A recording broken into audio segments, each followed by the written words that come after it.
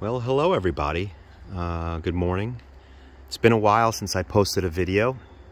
And uh, so this is the time of year where myself and lots of other uh, military uh, vehicle and military radio folks get together at uh, the West End Fairgrounds in Gilbert, Pennsylvania. And friends and myself rent sometimes a cabin. Last year we had a, we rented a, uh, we got a camping spot. This is the same. This is High Point, New Jersey. Uh, it's a uh, it's a campground here, beautiful area. Uh, and um, this year we decided to get a, a, cabin with a shower, which is nice. And I have with me the Land Rover. Uh, and I know I owe a video on this, um, but the purpose of this video is I'm gonna do a little experiment, do some uh, testing things out. I'm gonna get my remote control operational uh, in the back of the truck and set it up here on the uh, on the picnic table and see if I can get it all operating and, and working fine. So um, I'll uh, uh let's move on to the next part of the video. So we're uh, inside the Land Rover.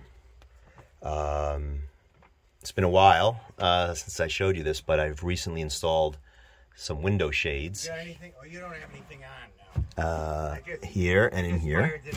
So uh, when I go camping I, and sleeping in here, I can just lower the shade. Uh, very convenient on the side here as well. Uh, but we're here to look at this remote system. So here's my HF radio, which is an RF5800H, uh, HF uh, 1.5 to 60.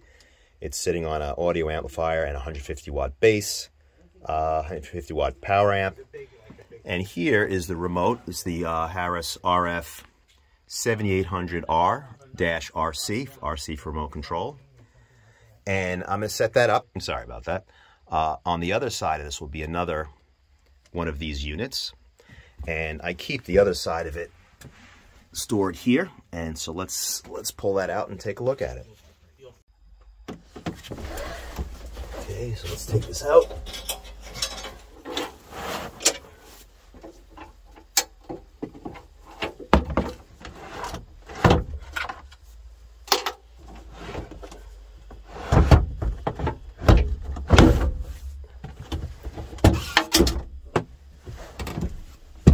And alongside that, we've got um, a roll of two conductor wire. And um, we'll set, this is what was about 25 feet. We'll set this up uh, between the two units.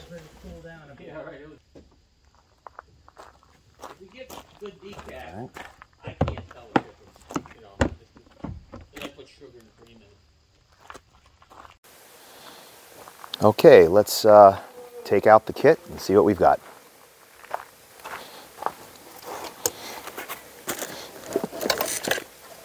So uh, here is the other side of the remote.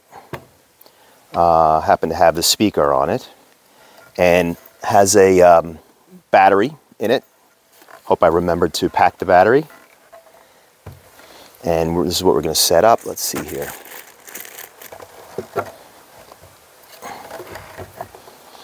And then we're going to use this uh, wire. It's going to connect between these two connectors and all the way back to the Land Rover. Okay, so let's see what we've got to do here to make all this operate. Uh, so the first thing is this cable is the main cable. It's already connected into the radio. Um, the next thing we have to do is we've got to remove um, the, the control, the, the KDU, the keyboard display unit. And we're going to use this, this is going to move externally to the remote unit. And in its place, uh, this cable is outrageously long, but it's the only one I happen to have brought with me. We connect it here and then connect it here. And this is how we get the KDU, the keyboard and display uh, data from the radio into the remote. Okay, uh, and now I don't have the cable with me. Let me let me get that next. All right, so uh, here we've got the the uh, remote. This is just a, this is just a zip cord lamp wire. two conductor, very simple. And we're going to hook this up. Make sure that the,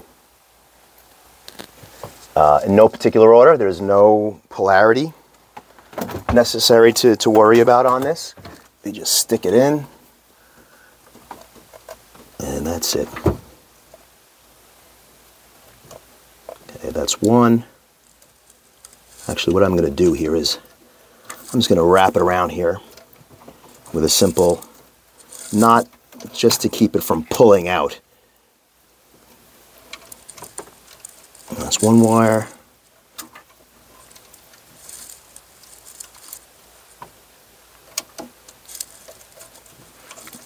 And that's the other wire. All right, and the last thing we do is turn it on. And you'll see here that it's booting up. Red means there's no, no connection. Of course, um, I still have to take the rest of this. I've got to connect the other uh, side of this over to the, uh, the picnic table end of the remote. So let's, let's do that. Just a little close-up of the, the wire connections here. And uh, just a little uh, tension uh, uh, reduction here. All right, let's do the rest.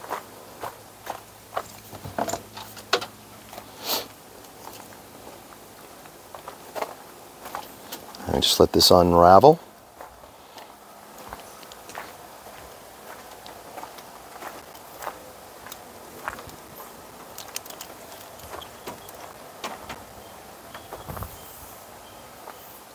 Too short. All right, so the solution hopefully is I just moved I moved up the vehicle to get closer to the table. So I obviously have to get more than 25 feet of this of this uh, wire. Okay.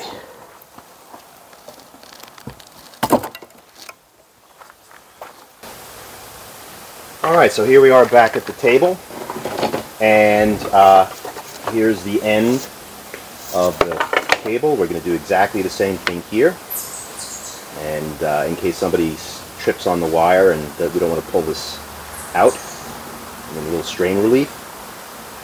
I'll probably have to figure out a better way to do that. And here we go into one connector. Here we go in the other. It's just a press fit. Just press it in.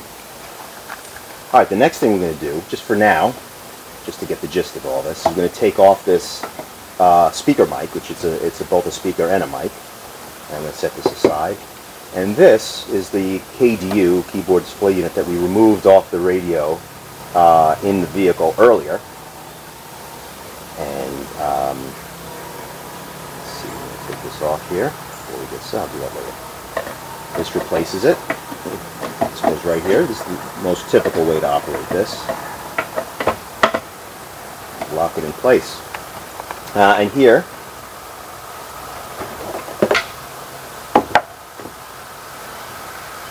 put a little handset on.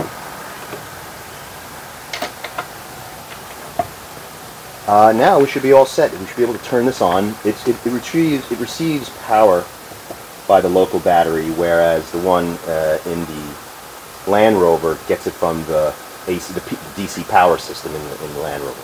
So let's turn this on and let's see what happens. Let's see if I can get a little closer.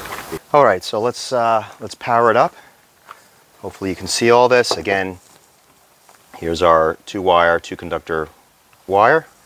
And let's see what happens. Switch this from off to on. And let's see if you can see those lights. Yeah, so again, it's red, which means it's uh, not connecting. Now it's blinking. It's negotiating uh, the communication with the unit in the truck. And if all goes well, it should eventually turn green and then the KDU should should turn on. Okay, it's blinking faster, good sign. There it is. Now you see it's green, and now you see the keyboard display unit powering up. And if you can see that, I don't know if you can see that. Let me zoom in a little bit more. Uh, you have a, a little aliasing going on, but there you can see it. So now we have full capability. I'll, I don't have an antenna, but I'll key up and you'll 3885. So PTT works, audio works. Uh, I don't think this audio, I think you got to do audio here. There, you can, you can hear it. Yeah, and then we have full control over the system. We can change presets. We could change, we could just put in a new frequency if we want. Uh, it's completely remote. And uh, uh, yeah, it just works. So let, let's do the next thing where we use the speaker mic and try that out.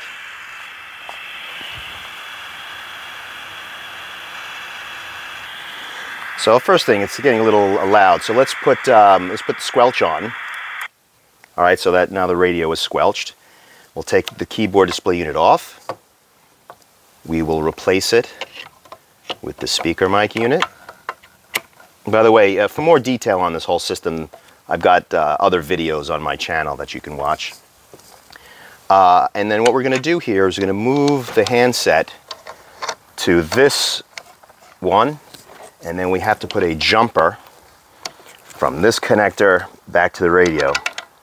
And that's how the audio gets into the speaker mic is through the handset connector on, on the remote. Uh, now, if we can now operate this, but um, I mean, it, will fully operate, but you can't control the frequency and other things. Uh, but you know, if you're working a fixed frequency and you don't need to, uh, and it's already been set in the truck what channel you want to work, you're ready to go. But to make this a little more interesting, let's also hook up the, the KDU. And so we use another one of these KDU termi uh, uh, cables, and we plug one into the front. Let's see. And we're going to plug the other side into the KDU. Yep, uh, this is always a difficult one to get to remove. All right, so we remove this little dust cover off the side connector. Normally, uh, when you plug it into the to either a radio or a remote unit, it's this connector on the back that makes the connection. But since we don't have that connector on the back, as it's being uh, consumed by the speaker mic, uh, they provide a, another speak another connection on the side. So here we are. We're going to connect this in, and you'll see. I don't know if you can see that. There's a lot of brightness here. There it is, ready to go. So let's put the squelch back on uh, which is this button. We hear it here. Now let's turn, this is off, let's turn this on. And there it is. Again, you could adjust the volume using this, this switch here. Now, if you didn't want to use the handset, you could use this for PTT, this button here. This is W2HX on 3885. Test, test, test. And that's all you need to do. Or you can continue, if you have the handset plugged in, you could use that. This is a test, this is a test. And uh, of course, you can also change your frequency and your presets and every, everything else you might want to do using the remote. Um, so uh, yeah, that's it. That's the basic operation. I hope you can see that. The, sun, the, the light is not exactly our friend today here. It's a little too, too bright. Um, so that's the operation.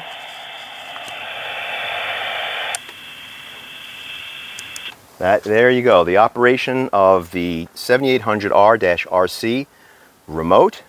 And just one more look back in the back of the vehicle here. Let's see.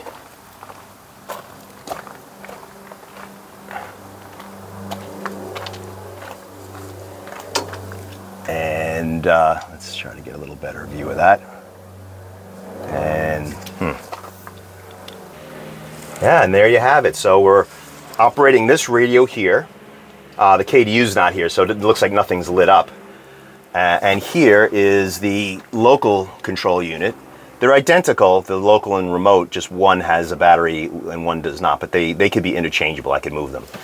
And so, and then the final thing I'll mention is that with a with a with this cable, with a different version of this cable, which I have, uh, I could also just connect it to it as a top connector here. And uh, this is the 7800M. Uh, which I use for 2 meters, 220 and 440. Uh, so I could also, with the exact same setup, I, I simply remove move this cable um, from the HF radio to the top of the VHF UHF radio, and that's all I have to do. And there's nothing more, and the remote that you saw on the uh, picnic table will control this exactly the same way uh, no difference. All right, well, that's it. Hope you enjoyed the video.